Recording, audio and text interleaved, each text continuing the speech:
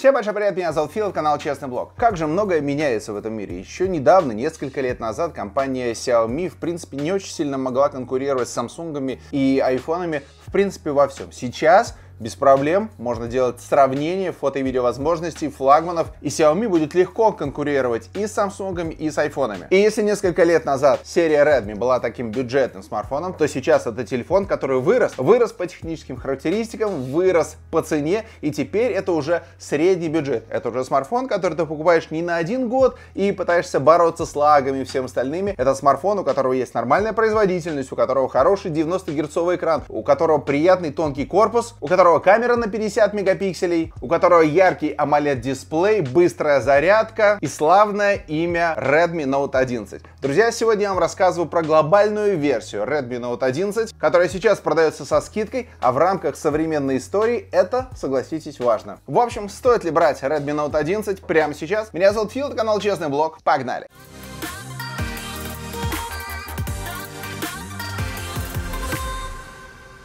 Я знаете, друзья, что хотел бы у вас узнать? Напишите, пожалуйста, какими Redmi вы вообще в жизни пользовались и какие Redmi оставили у вас самое неизгладимое впечатление. Потому что моделей было много, аудитория огромная. Есть люди, которые по-прежнему ходят, например, с версией 4X и даже ее не меняют. В общем, напишите, какими Redmi вы пользовались. Еще раз хочу обратить ваше внимание, что прямо меняется немножко стереотипное мышление. Если раньше действительно про Xiaomi и Redmi думали, ну это такие смартфоны, когда не хватило на Samsung и iPhone, iPhone, то сейчас покупка Redmi или Xiaomi это прямо уверенный выбор. Теперь, я бы сказал, это не тогда, когда тебе не хватает на iPhone и Samsung. Теперь это осознанный выбор, потому что ты хочешь купить топ за свои деньги. И если раньше это был топ за свои деньги, но бюджетный, то сейчас это хороший средненький смартфон. Смотрите, что мы имеем. Ну, например, дисплей, лицо смартфона, яркий, хороший AMOLED. Что такое AMOLED? Это когда у нас максимально глубокий черный. У нас классные контрастные цвета, у нас яркость здесь, в этом дисплее 700 нит в автоматическом режиме, 1000 нит яркости в пике, плавность 90 Гц, плюс приятная диагональ 6,43 дюйма. То есть в рамках современных лопатофонов этот смартфон будет хорошо лежать в руке. Он еще будет хорошо лежать в руке, потому что у него обновленный дизайн. Теперь это такие плоские грани в моду с айфоном. Это очень тонкое устройство, 8,1 мм, и это очень легкое устройство, 179 граммов. То есть получается такой интересный симбиоз. С одной стороны он достаточно большой, но не настолько большой, чтобы было неудобно. Ну а по весу весу и всему остальному хорошо лежит в руке. И, конечно же, у нас в комплекте есть силиконовый чехол, его обязательно надо надевать, потому что все-таки разбить вот этот AMOLED-экран я вам очень не рекомендую. А силиконовый чехол реально спасает. Камера у нас не сильно выступает, цвет мне, вот это Space Gray Metallic, очень нравится. Нравится, как работает сканер отпечатка пальцев, он работает быстро, встроен он в клавишу питания, вы всегда его можете нащупать и даже несмотря на телефон разблокировать. Но если на телефон посмотрите, у нас работает разблокировка по лицу, которая тоже работает достаточно достаточно хорошо. С фронтальной стороны, по большому счету, мне все нравится. Здесь приемлемые рамки, здесь снизу такой небольшой подбородок. Единственная вещь, на которую я обращаю внимание, это фронтальная камера. И даже не сама она, а внутри у нас такой серебристый ободок. Я такой, блин, зачем тут нужен серебристый ободок? Сверху все покрыто Corning Gorilla Glass третьего поколения. Пленочки никакой у меня сверху нет, но у меня предпродажный образец. Вроде как в продажном образце есть пленка. Сверху у нас есть еще джек для наушников. Сверху у нас есть еще инфракрасный порт. У нас здесь стереодинамики, друзья. Стереодинамики динамики в этой ценовой категории это хорошо. Далеко не у всех смартфонов в этой ценовой категории есть стерео. Ну и самое главное, это стерео хорошо звучит. Единственный момент, все-таки есть небольшой перекос на нижний динамик. Он выполняет основную функцию, а сверху у нас такой типа Twitter. И это не тот Twitter, в котором нужно писать текстовые сообщения. Это Twitter, который воспроизводит средние и высокие частоты. А вот когда вы будете играть, здесь будет происходить такая штука. Правой рукой вы не будете перекрывать динамик нижний основной, а слева вы так или иначе будете перекрывать, так что обратите обратите на это внимание.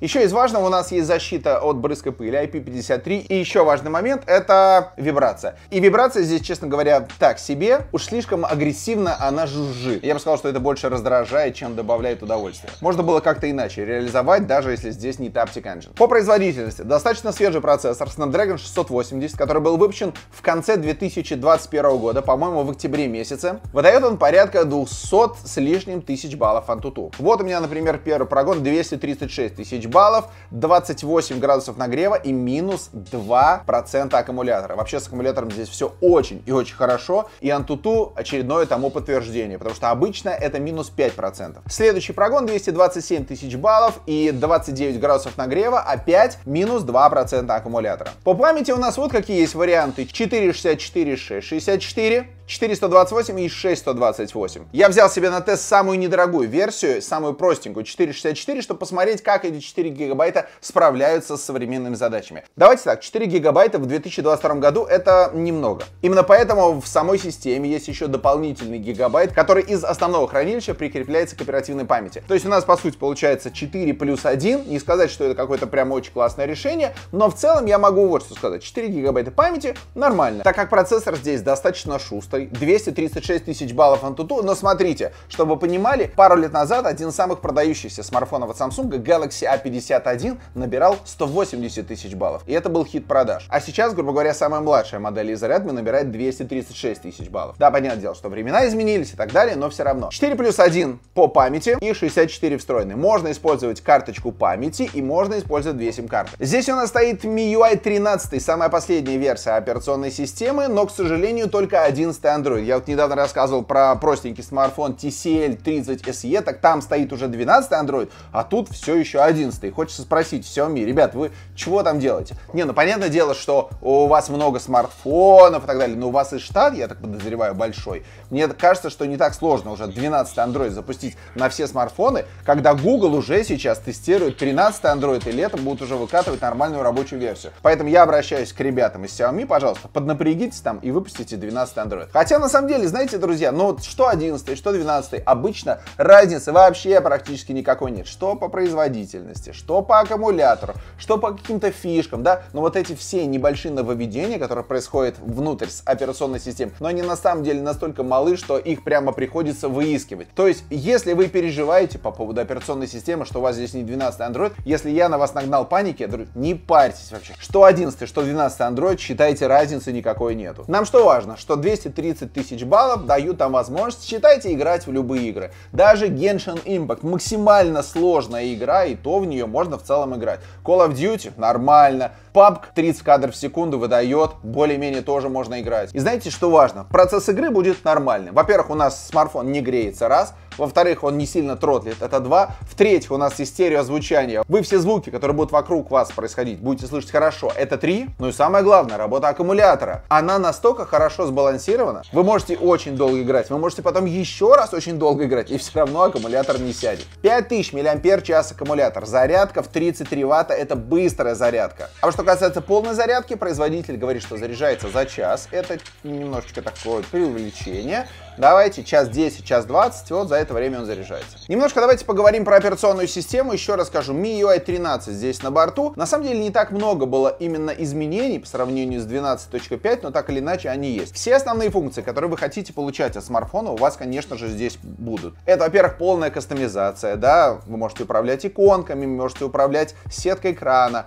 можете включать темную тему. У нас здесь есть Always On Display, он работает не постоянно, но так или иначе можно настроить, чтобы он работал 10 секунд или когда вы берете в руки смартфон. Естественно, здесь есть стандартные мои любимые настройки, чтобы смартфон пробуждался, когда вы берете его в руки, сразу считывал вас и сразу разблокировался. Обязательно настройте это. Здесь можно делать клонирование приложений, если вы хотите, чтобы у вас было два WhatsApp. Здесь есть различные жесты, например, быстрый запуск камеры или настройка скриншота таким образом, чтобы вы провели тремя пальцами и скриншот произошел. То есть вам не надо брать две руки и нажимать кнопку питания и громкости вниз, хотя этот вариант тоже работает. Просто тремя пальцами пальцем провели, и все произошло. Удобно. Здесь также можно настроить, чтобы вы, например, два раза коснулись сканера, и у вас включился фонарик. А может быть, вы хотите, чтобы это был не фонарик, а центр уведомления, или запуск Google Ассистента, или запуск камеры, или еще что-то. В общем, здесь много чего можно настроить. Сама операционка работает быстро, у меня вопросов к ней никаких нет. MIUI уже давно допиленная система. Понятное дело, что в любой оболочке есть всякие лаги, которые постепенно находят пользователи, но, соответственно, компания их выпиливает. Здесь все в порядке. В общем, у меня к быстродействию самой системы системы операционной вопросов никаких нету. По беспроводным подключением Wi-Fi 6 поколения здесь нету, Bluetooth версии 5.0, не самый новый. Инфракрасный порт есть, NFC тоже, соответственно, бесконтактные платежи работают, настраивайте Pay и погнали. А вот что касается камеры, друзья, здесь есть и хорошие моменты, и как бы средненькие моменты. Первое. Основная камера 50 мегапикселей от компании Samsung.